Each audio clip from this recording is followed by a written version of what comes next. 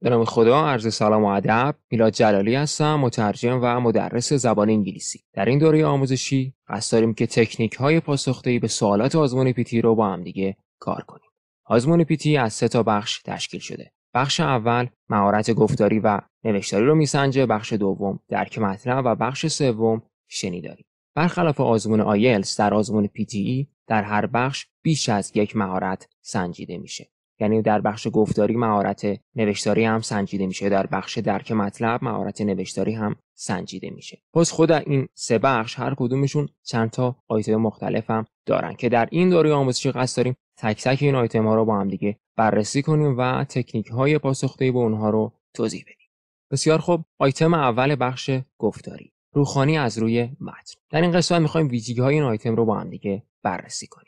در آیتم روخانی به شما 6 الی 7 تا متن داده میشه.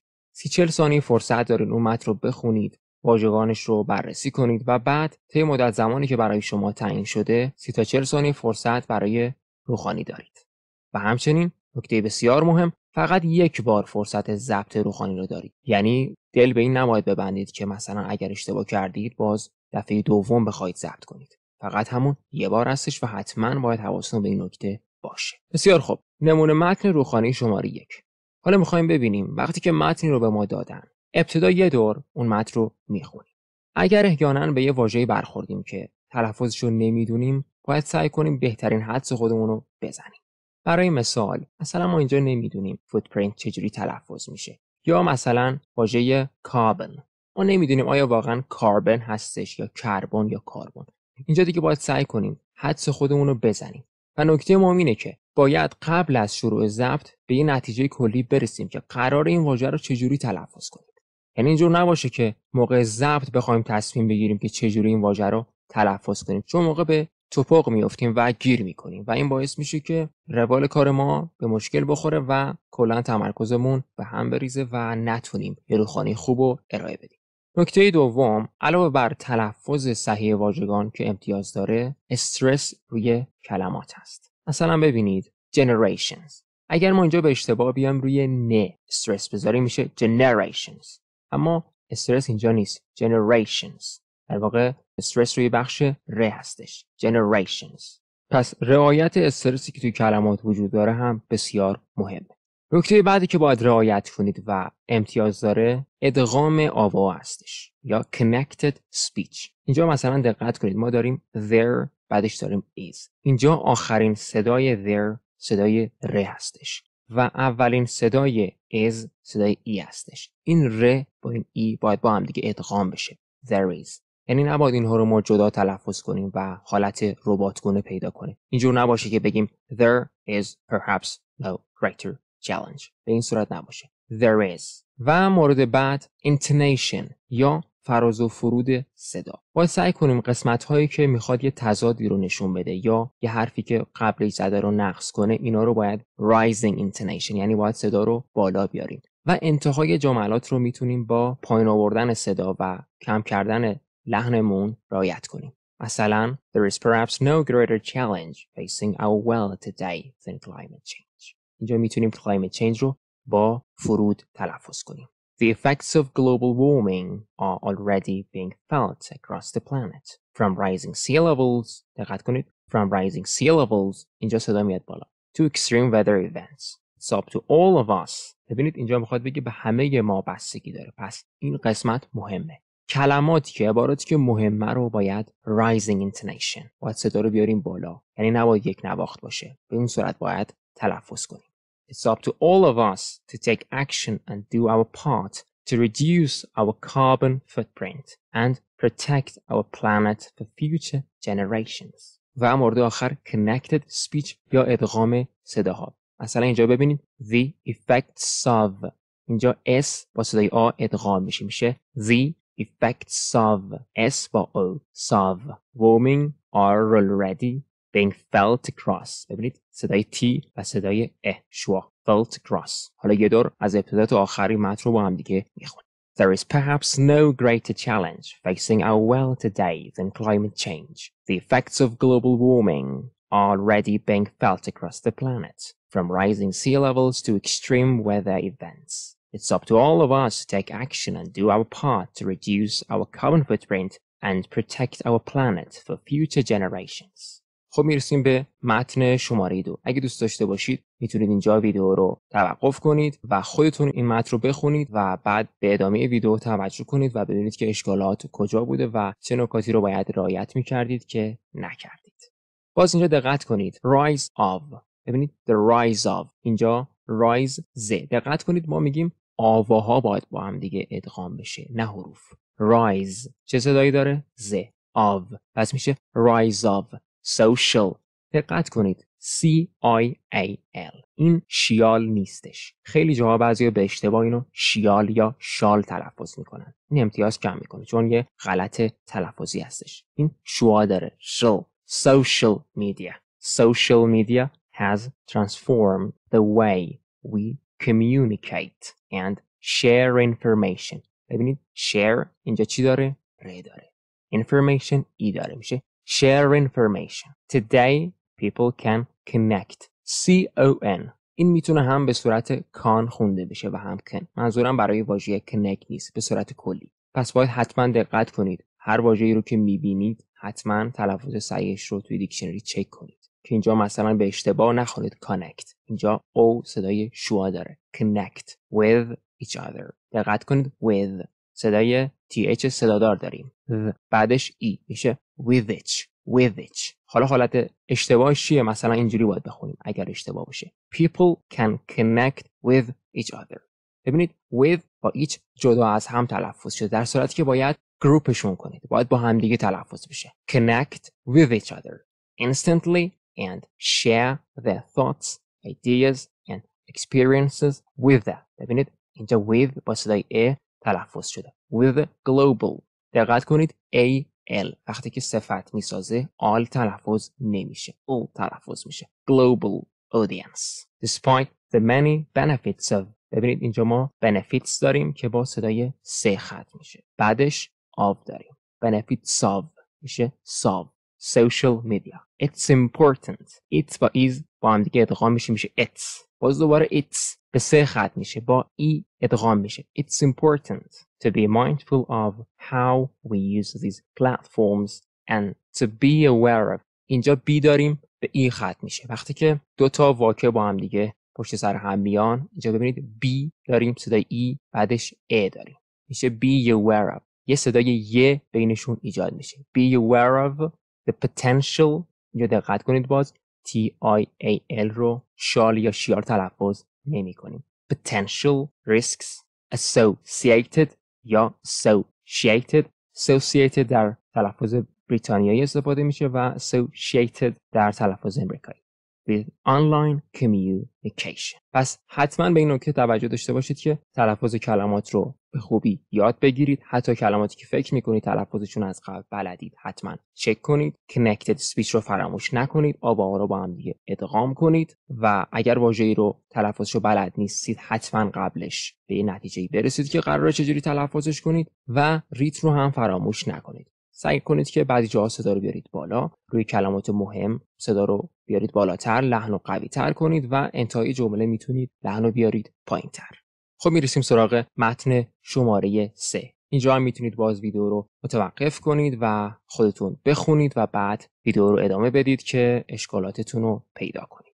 این نکته که اینجا می‌خوام بهتون بگم ببینید وقتی که بعد از the ما واکه داریم the به صورت the تلفظ میشه. اینجا نمیگیم the advent of میگیم the advent of artificial بازم تاکید می‌کنم C-I-L شیال تلفظ نمیشه show the advent of ببینید advent T با O ترکیب شده the advent of artificial intelligence artificial intelligence باز دوباره ل رو با E ادغام کردیم artificial intelligence has opened up exciting new possibilities in fields ranging from healthcare to finance. AI systems can analyze اینجا باز میتونیم صدای ن رو با آ ترکیب کنیم can analyze vast amounts of vast به ت خط میشه بعدش ا داریم vast amounts of data and make predictions and recommendations that can improve outcomes and save lives however there are also concerns بازم C-O-N داریم. حتما واژه‌هایی که با C-O-N شروع میشن و رایج هستن رو پیدا کنید و جستجو کنید که به چه صورت تلفظ میشن. اینجا C-O-N صدای O صدای شوا داره. Concern. ولی خب اگر واژه‌ای مثل concert بود یعنی به جای این N T بود اون با آ تلفظ می‌شد. Concert. اما اینجا concerns about the ethical implications of AI such as ببینید. such چه داره بعدش ا such as اینجا با هم دیگه ادغام میشن. Such as the potential for bias and discrimination. و می‌رسیم به متن چهارم. The COVID-19 اینجا به اعداد حتما دقت کنید. 19 استرس روی بخش تین هستش. ببینید 19 19 نیستش. یعنی قشنگ باید اون تین جذب تلفظ بشه. 19 The COVID-19 pandemic has had a profound impact on our daily lives, from school closures to remote work to international travel restrictions. As we navigate this new normal, it's essential. بازم اینجا ادغام صدا داریم. It's essential, it's essential that we continue. بازم دقت کنید حروف C O N continue continue نیستش. گفتم C O N هم میتونه کان تلفظ بشه و هم کن. اما خب هیچ قانون قاعده خاصی نداره و باید حتما جستجو کنید توی دیکشنری چک کنید و تلفظ صحیح یاد بگیرید. To follow public health guidelines and do our part to slow the spread of the virus. نکته بعد واجه هایی که با حرف S شروع میشن. نباید به صورت S تلفظ بشه. Slow اشتباهه. Slow انگار به یکی می‌خوایم بگیم ساکت باشه. ف spread of the virus. Together we can overcome this crisis and emerge stronger and more resilient than ever before. آیتم تکرار جمله. دومین آیتم از بخش گفتاری. بریم که ویژگی های این آیتم رو با هم دیگه ببینیم.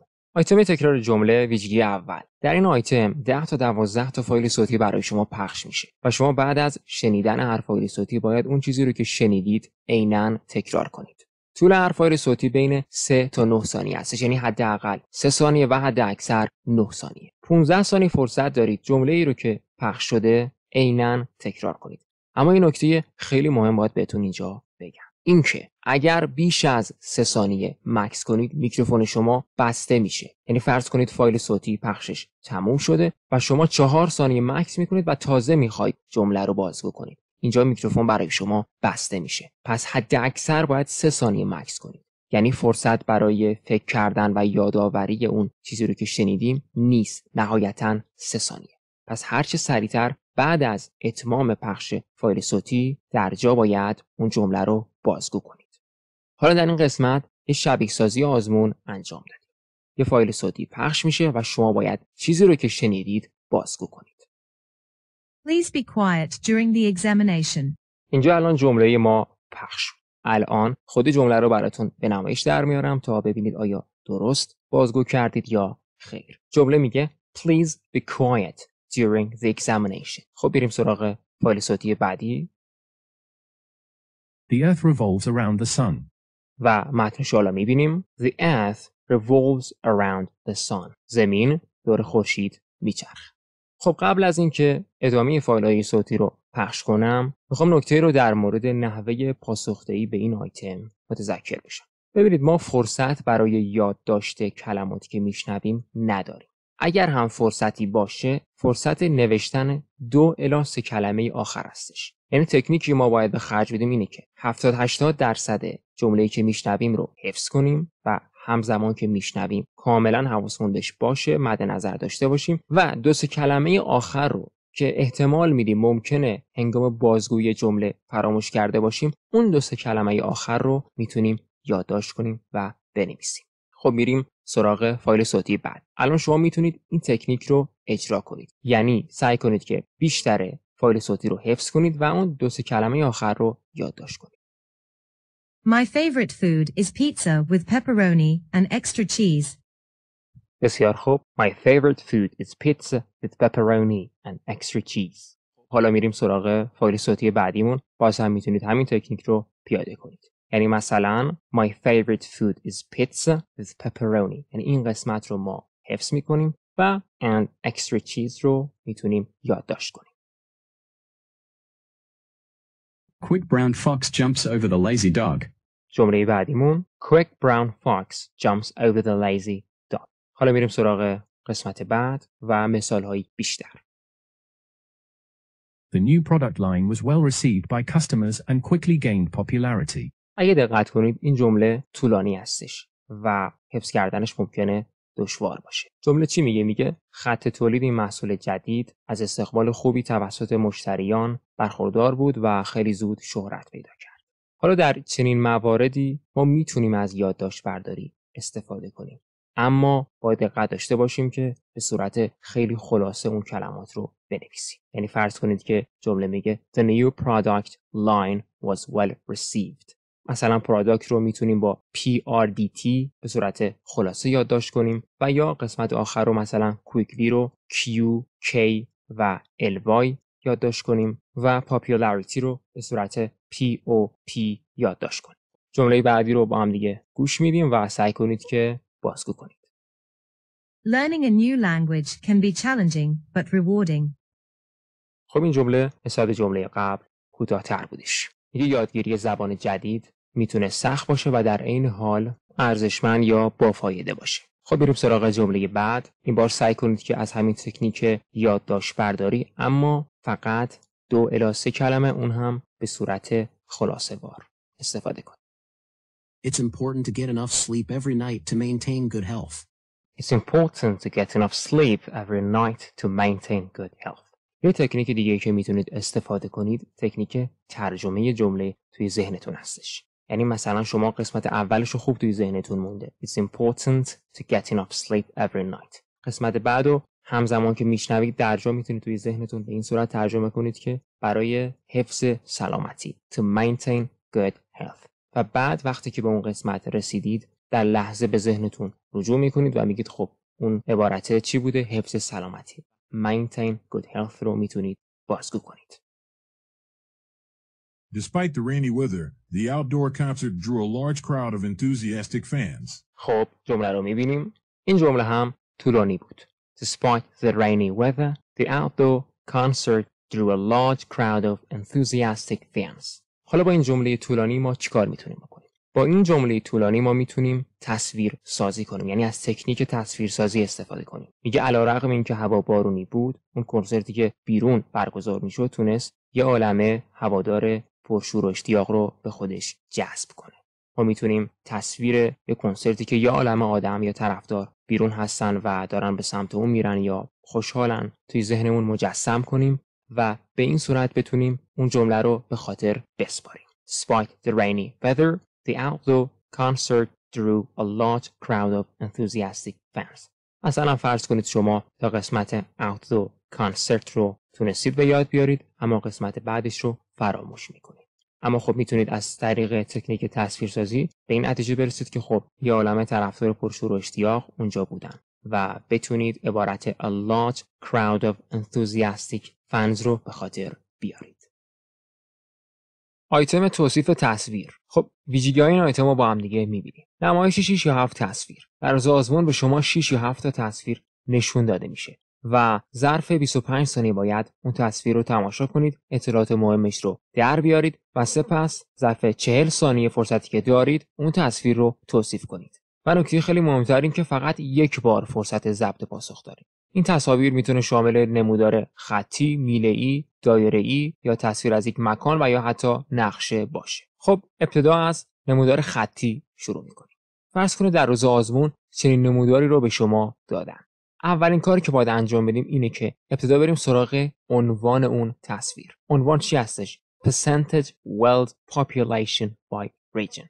ابتدا پس عنوان رو می‌خونیم ببینیم که اون تصویر در مورد چی هستش. و سپس میریم سراغ محور X که اینجا گفته از سال 1750 تا سال 2000 یعنی اومده گفته که جمعیت دو قاره آسیا و اروپا از سال 1750 تا 2000 چنین روندی رو طی کرد اولین کاری که باید انجام بدیم اینه که برای تصویر مد نظر یک مقدمه بیاریم. در مقدمه ما میگیم که این تصویر فلان چیز رو نشون میده. مثلا تغییر جمعیت قاره آسیا و اروپا رو از سال 1750 تا 2000 نشون میده. پس این میشه مقدمه ما. بعد میایم هم در مورد این خط بنفش و هم در مورد این خط سبز رنگ یه اطلاعاتی رو میریم مثلا میگیم از این سال تا این سال کاهش داشته از این سال تا این سال افزایش داشته و بعد مثلا شیبه ملایمی رو طی کرده و حالا چیزایی مثل این. خب حالا یه پاسخ نمونه رو می‌بینیم. The graph shows population trends in Europe and Asia as a percentage of world population between 1750 and 2000 این میشه overview. یعنی چی؟ یعنی میشه مقدمه یا معرفی ما. ببینید از فعل show استفاده کردیم. به جای این می‌تونید از فعل represent هم استفاده کنید. یعنی این گراف نشون میده که چی رو نشون میده؟ روند تغییر جمعیت در قاره اروپا و آسیا رو بر اساس درصد از چه سالی؟ از سال 1750 تا سال 2000 این میشه مقدمه ما. بعد میام سراغ آسیا یعنی خط سبز رنگ. Ages proportion dropped from 65 to 55% between 1750 to 1950 یا میگیم میزان جمعیت آسیا از سال 1750 تا سال 1950 یعنی میشه از این نقطه تا این نقطه. Drop یعنی کاهش داشته. حالا شما به جای drop می‌تونید از decline هم استفاده کنید. از چه مقداری؟ از 65 درصد که اینجا میشه 65 تا 55 درصد. یه نکته خیلی مهم بگم. زیاد مهم نیست که حالا دقت کنید حتما عدد دقیق رو در بیارید. حالا چه بگید 65 درصد 67 درصد یا 62 درصد اینا واقعا مهم نیست. چیزی که مهمه اینه که شما بتونید به صورت روان و با زبان ساده اون تصویر رو توصیف کنید. و ادامه میدیم. But reached 60% in 2000 ولی سال 2000 به 60 درصد رسیده شید سال 2000 اینجا داریم. عددش چند هستش؟ 60 درصد. این میشه توصیف تغییر روند جمعیت آسیا. حالا میریم سراغ اروپا. Europe's population was fairly stable from 1750 to 1850 at just over 20% of world population. میگه جمعیت اروپا نسبتا ثابت بوده. ببینید stable یعنی ثابت. اگر خطی رو ببینیم که تقریبا صاف هستش میگیم fairly stable. اگر کاملا صاف هستش احتیاجی نیست از قید فعلی استفاده کنیم و همون stable یا steady به تنهایی کفایت می‌کنه. به جای فعلی می‌تونیم از relatively هم استفاده کنیم. یعنی نسبتا یا تقریبا ثابته. از چه سالی؟ از 1750 تا سال 1850 پس اگه دقت کرده باشید تا اینجای کار ما وقتی تغییرات خط رو توصیف می‌کنیم سالش رو هم ذکر می‌کنیم. این خیلی مهمه. یعنی هم میگیم کاهش داشته و هم میگیم در چه سالی. و نهایتا میگیم then it rose. It اینجا زمیر هستش. به چی برمیگرده؟ به جمعیت اروپا. It rose slightly. Slightly یعنی یه کمی. مقدار خیلی کمی. افزایش پیدا کرده. Rose گذشته فعل rise در چه سالی؟ 1900 1900 before falling by more than half to just over 10% in 2000 یه وقتی تو سال 1900 کمی افزایش داشته بعدش تقریبا نصفه میشه و به 10 درصد می‌رسه. در چه سالی؟ در سال 2000 به همین سادگی می‌تونیم این تصویر رو توصیف کنیم. تصویر بعدیمون نمودار دایره ای اینجا ما محور x و y نداریم. اشکال نداره. اما اولین کاری که باید انجام بدیم مثل همیشه میریم سراغ عنوان. Reasons for no longer attending school. دلایل عدم ادامه تحصیل یا ترک تحصیل. خب بعد میایم می‌خونیم male یعنی آقایان مردها female. خانم ها یا بانوان. اومده چی گفته؟ اومده دلایلی رو اینجا برای ما آورده. مثلا گفته اتمام تحصیل 60 درصد پیدا کردن کار 25 درصد سایر دلایل 8 درصد بیماری 3 درصد دلایل خانوادگی یا شخصی 4 درصد. واسه آقایون هستش. این طرف هم واسه خانم آورده. کاری که ما باید انجام بدیم چیه؟ میایم علت ها و درصد ها رو توضیح میدیم. میگیم آقایون 25 درصدشون به خاطر اینکه شغل پیدا کردن دیگه مدرسه نرفتن. 8 درصدشون به دلایل متفرقه یا سایر دلایل نامشخص مدرسه نرفتن. 3 درصدشون به خاطر بیماری ادامه تحصیل ندادن. و میایم همینطور برای خانم ها هم به همین صورت توصیف می‌کنیم. میگیم مثلا 11 درصد به خاطر دلایل خانوادگی یا شخصی مدرسه نرفتن 12 درصد به خاطر پیدا کردن شغل. حالا اینجا ابتدای کار معرفی رو داریم. The charts. ببینید اینجا چون دو تا چارت داریم از اس جمع هم باید استفاده بشه. The charts. یعنی این دو تا چارت. Show why males and females stopped going to school. اگه دقت کرده باشید ما اینجا در معرفی اومدیم عنوان رو بازنویسی کردیم. شما اگر بتونید و توانش رو داشته باشید که عنوان رو بازنویسی کنید بهتره. اما اگر نتونستید اشکالی نداره. می‌تونید خود عنوان رو عینا توی مقدمه بیارید. بعد از معرفی in both cases the main reason was that they had completed their studies. میگه تو هر دو مورد یعنی هم آقایان و هم خانوما دلیل اصلی چی بوده؟ این بوده که درسشون تموم شده بوده. این میشه نکته اولمون چرا میگیم دلیل اصلی؟ چون بیشترین درصد به همین اختصاص داده شده. completed study. اینجا 60 درصد اینجا 65 درصد. حالا میریم سراغ دلیل بعدیش The supply to 65% of females and 60% of males حالا میاد میگه 65 درصد برای خانوما بوده 60 درصد برای آقایون قسمت بعد The second reason was that اینجای کار دلیل اول رو گفتیم حالا دلیل دوم The second reason was that they had got a job دلیل دوم این بوده که چی سر کار رفتن But 25% of males had work compared with 12% of females اینجا میگه آقایون 25 درصدشون به خاطر پیدا کردن کار دیگه مدرسه نرفتن. در مقایسه با خانوم ها که 12 درصد بوده. Almost the same percentage of females also left school for personal or family reasons. میگه تقریبا به همین اندازه خانوم ها به دلایل شخصی یا خانوادگی دیگه مدرسه نرفتن. در حالی که while به این صورت ما جملات رو با هم دیگه متصل می‌کنیم. اینجا ما یک کلاس داریم که میگیم خانوم ها اینقدر درصد بعدش توسط while جملت رو با هم دیگه متصل می‌کنیم. در حالی که only 4% of males did. فقط 4 درصد آقایون به این علت دیگه مدرسه نرفتن. و در نهایت یه نکته دیگه هم از داخل این چارت در میاریم. مثلا سایر دلایل. A very small percentage of students left due to illness. میگه درصد خیلی کمی از دانش آموزا به خاطر بیماری دیگه مدرسه نرفتن. 3% of males and 5% of females. حالا اینجا میاد درصد دقیقش رو میگه. ابتدا میگه درصد خیلی کمی بعد میاد مشخص می‌کنه چند درصد بوده. And a slightly bigger percentage left for other unspecified reasons. و یه درصد خیلی کمتری هم به سایر دلایل اختصاص داده شده. به همین سادگی می‌تونیم تصویر رو توصیف کنیم. نمودار بعدیمون نمودار میله هستش. مثل همیشه ابتدا میریم سراغ عنوان. US citizens over 65 years. شهروندان آمریکایی که بیش از 65 سال دارن یا بالای 65 سال. از چه سالی؟ از سال 2010 تا 2035 وقتی که می‌بینیم اون سالی که نشون میده بیشتر از سالی هستش که ما الان در اون حضور داریم می‌فهمیم که داره توصیف پیشبینی انجام میده یعنی داره چیزی رو پیشبینی می‌کنه. The chart shows the future trends in the percentage of American citizens over 65 years old. از فعل show اینجا استفاده کردیم. به جای این می‌تونید از فعل represent یا illustrate هم استفاده کنید. چرا میگیم future trends؟ چون که داره پیش بینی می‌کنه. این میشه مقدمه ای ما. حالا میام سراغ نکته. In 2010 سال 2010 about 13% of US citizens were over 65. میام سراغ سال 2010. میگه تو سال 2010 حدود 13 درصد شهروندای آمریکایی بالای 65 سال بودن. ببینید اینجا میگه حدود 13 درصد. شما اگر بگید 12 درصد یا 14 درصد هم هیچ مشکلی نداره. این دقت اینجا اصلا لازم نیست که عینا ما یه عدد دقیق رو بگیم. قسمت بعد this figure figure به معنای عدد هستش. is predicted to rise steadily so that by 2035 it will be 20%. میگه پیش بینی میشه که این عدد همینجور رشد مستمری یا ثابتی رو خواهد داشت. steadily یعنی مستمر یا ثابت. rise یعنی رشد کردن، بیشتر شدن.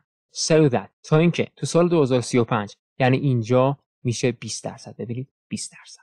این میشه نکته دو. حالا بعد میگیم between 2010 and 2030 یا 2030 the rise will be quite steady. میگه بین سال 2010 تا سال 2030 این افزایش بسیار مستمر خواهد بود. quite steady. ببینید همینجور داره بیشتر و بیشتر میشه. افزایش پیدا می‌کنه. ارتفاع میله ها همینجور داره بیشتر میشه. Whereas در حالی که between 2030 and 2035 بین سال 2030 تا سال 2035 the rise is less significant. این افزایش کمتره. در واقع ارتفاع افزایش کمتری رو داشته. بعد اینجا از present participle می‌تونیم استفاده کنیم suggesting that که این نشون میده که این حاکی از اینه که the increase in the aging population may peak shortly after 2035 یا 2035 این نشون میده که افزایش جمعیت پیر یا جمعیت مسن ممکنه کمی بعد از سال 2035 باز دوباره رشد کنه دوباره بره بالا. پیک به معنای رشد کردن یا بالا رفتن هستش. و آخر however the rise will have serious implications in areas such as the provision of government services. میگه با این حال این افزایش یعنی این افزایش جمعیت افراد بالای 65 سال will have serious implications. پیامدهای خیلی جدی هم برای دولت خواهد داشت. از چه لحاظ؟ توی چه حوزه هایی توی حوزه تامین خدمات دولتی برای مردم. توصیف نمودار خطی. در این تصویر ما یک نمودار خطی رو می‌بینیم. مثل همیشه ابتدا به عنوان نگاه می‌کنیم. Revenue Growth Graph. اومده میزان رشد درآمد دو تا شرکت رو با هم دیگه مقایسه کرده. کامپانی X به رنگ سبز یعنی این خط و کامپانی Y به رنگ بنفش یعنی این یکی خط. حالا بریم سراغ محور X. از سال 2006 تا سال 2024 وقتی که سال 2024 رو می‌بینیم می‌فهمیم که داره پیش بینی می‌کنه. یعنی روندی رو از گذشته شروع کرده و در آینده پیش بینی هم می‌کنه. و در سمت چپ هم میزان درآمد رو می‌بینیم که به میلیون دلار نوشته شده. از صفر تا 2000 میلیون دلار. بسیار خوب میریم سراغ پاسخ نمونه. The graph shows revenue growth in millions of dollars for two companies between 2006 and 2024 دقت کنید ما اینجا overview داریم یعنی مقدمه. میایم تعریف می‌کنیم که این تصویر در مورد چی هستش. The graph یعنی این تصویر نشون میده که چی رو نشون میده؟ میزان درآمد به ازای میلیون دلار برای دو تا شرکت شرکت X و Y. اینجا ما دیگه اسم شرکت ها رو نیاوردیم. شما می‌تونید اسم شرکت رو بیارید می‌تونید نیارید. ما اینجا فقط گفتیم for two companies یعنی برای دو تا شرکت. حالا شما می‌تونید بگید for company X and Y. بین چه سالی؟ 2006 تا 2024 پس به این صورت ما عنوانمون رو میچینیم. یعنی ابتدا میگیم که این تصویر این گراف این نمودار چی نشون میده؟ میزان درآمد بر چه اساسی؟ بر اساس میلیون دلار. بین چه شرکتهایی؟ بین شرکت X و Y بین چه سالی؟ 2006 تا 2024 به این شکل باید اطلاعات رو دونه دونه پشت سر هم ردیف کنیم.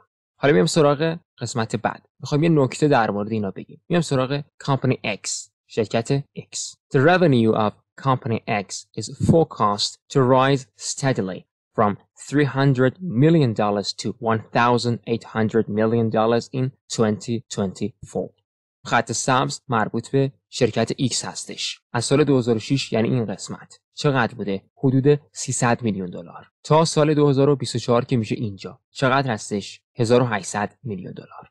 پس اینجا ببینید گفته forecast یعنی پیش بینی می شود که rise steadily ببینید وقتی خط نمودار ما همینجور در حال افزایش هستش و رو به بالا میره می‌تونیم از قیدی مثل steadily استفاده کنیم. یعنی اون رشد مستمر ثابته. این خطه همینجور میره بالا. هیچ قسمتی نیستش که بیاد پایین یا ثابت باشه. رشدش صعودیه و پایداره حالا که از X گفتیم میام سراغ Y Company Y's revenue started at zero in 2006 دقت کنید سال 2006 یعنی اینجا. میزان درآمد شرکت Y صفر بوده. پس اینجا میگیم started at zero. یعنی از صفر شروع شده. And is likely to increase slowly to about 400 million dollars in 2019 یا 2019 این میشه پوینت دوم ما. Is likely to یعنی احتمال داره که افزایش پیدا کنه. اما چه افزایشی؟ Slowly یعنی افزایش آرام آرام آهسته آهسته. تا چه اندازه‌ای برسه؟ تا 400 میلیون دلار. در چه سالی؟ در سال 2019 یعنی این قسمت. تقریبا میشه اینجا. After that بعد از اون however predictions are that the company's growth will surge between 2019 and 2024 to just overtake company X at 1900 million dollars میگه بعد از اون پیش بینی میشه که predictions are that یا it's predicted that the company's growth یعنی رشد شرکت will surge یعنی افزایش یا رشد ناگهانی پیدا کردن بین چه سالی بین سال 2019 یعنی این نقطه تا سال 2024 اگر دقت کنید از این سال 2006 تا این قسمت رشد ما آهسته بوده. ببینید increase slowly. اما یه دفعه از 2019 تا 2024 که پیش بینی کرده یک افزایش ناگهانی و زیاد داشته. بنابراین از فعل surge استفاده می‌کنه. حالا میگه overtake یعنی سبقت می‌گیره حتی بیشتر میشه. بگه میزان درآمدش که تو سال 2018 حدود 400 میلیون دلار بوده توی سال 2024 حتی از شرکت X هم بالاتر می‌زنه. چقدر میشه؟ میشه 1900 میلیون دلار. At 1900 million dollars. پس ابتدا اومدیم معرفی کردیم که تصویر در مورد چی هستش بعد اومدیم روند X رو بررسی کردیم و بعد اومدیم روند خط Y رو بررسی کردیم و نهایتا این میشه یه پاسخ نمونه خوب. هرچی اطلاعات داخل این تصویر بوده رو به خوبی بیان کردیم. تصویر بعدیمون توصیف جدول. خب اینجا دیگه ما محور X و Y نداریم.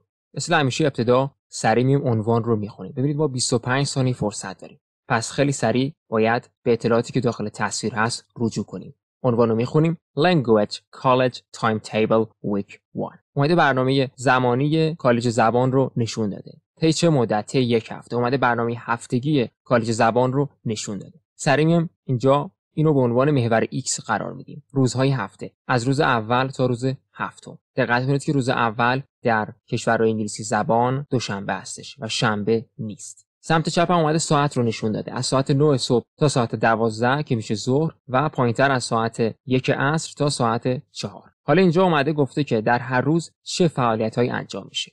مثلا اینجا کلاس زبان برگزار میشه اینجا فعالیت های اجتماعی برگزار میشه اینجا از مکان های دیدنی بازدید می‌کنن و اینجا حالا به مدرسه ابتدایی میرن و آخر هفته هم خانواده هاشون به دیدن اونا میان. کاری که ما باید انجام بدیم اینه که بگیم در روز اول از ساعت فلان تا ساعت فلان فعالیت X انجام می شود یعنی ما باید به این نحو اطلاعات رو بیان کنیم. بگیم مثلا در روز دوم از ساعت 9 تا ساعت 12 کلاس زبانه و عصرها فعالیت اجتماعی هستش. حالا دور هم جمع میشن و هم دیگه بازی می‌کنن. یا بگیم در روز سوم از ساعت 9 تا 12 یا طرف صبح کلاس زبان دارن و عصرها از مدرسه ابتدایی دیدن می‌کنن.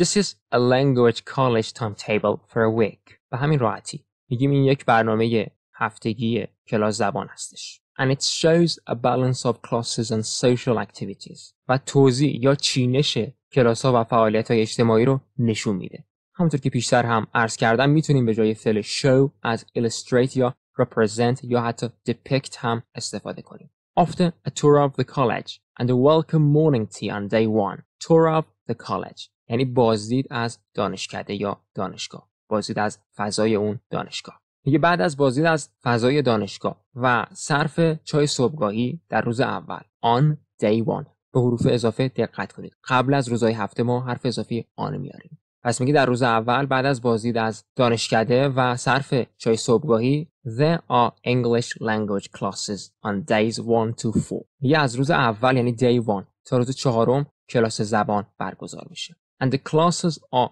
from 9 to 12 except on Monday. حالا اومدیم ساعتش رو گفتیم. میگیم کلاس از ساعت 9 تا ساعت 12 برگزار میشه. به جز دوشنبه ها چرا؟ چون دقت کنید گفتیم روز اول هفته از دوشنبه شروع میشه نه شنبه. اینجا ما توراب کالج داریم. یعنی روز دوشنبه از ساعت 9 تا 12 کلاس زبان نیستش. بلکه عصرها. دقت کنید اینجا کلاس زبانه.